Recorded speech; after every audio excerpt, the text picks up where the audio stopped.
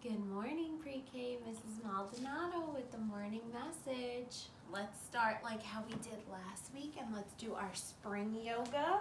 I hope you're doing it at home too. We're gonna say hello to the sun. We're gonna pretend to be a tree. Then afterwards, we're going to be a bird and then pretend to be a raindrop and then pretend to plant those seeds. Okay, so today something's going on with my calendar.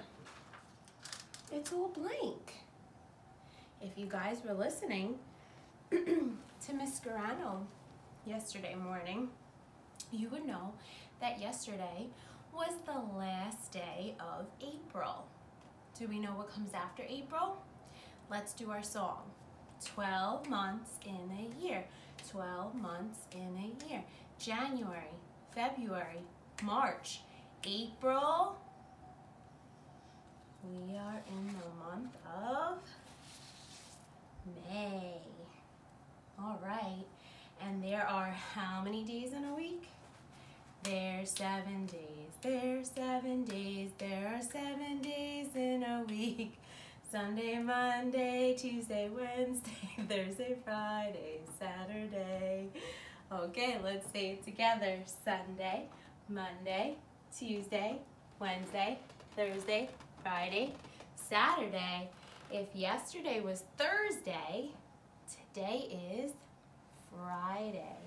And if today's the first day of the month, that means we put the number one. Okay, so today is Friday, May 1st, 2020. Okay, and that was our cat Sylvester. He wanted to say good morning to everybody. Alrighty, today the weather's gonna be yucky again. I feel like every Friday I'm telling you it's yucky weather. Um, it's gonna be cloudy, it's possibly gonna rain, so today we'll just put a little cloud here. Oops, upside down.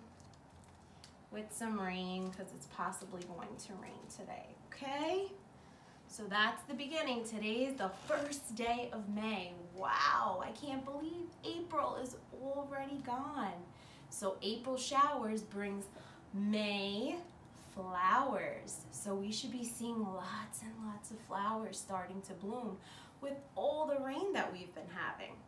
So since we've been talking about plants, today I wanted to talk about flowers famous flowers. Did you know that there's famous flowers?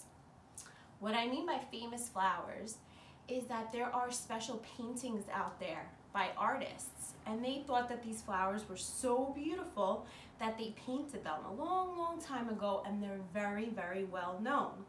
So today, your challenge is going to be, you could either do one of the paintings that I'm going to talk about on your own at home, or you could go on the internet with mommy and daddy or who whatever adult is with you and check out some famous flower paintings and you try to make it your own. You could make it 3D, you could cut it out of paper, you could use paint, you could use crayons, you can use markers, whatever you want. I'm gonna show you three special paintings today.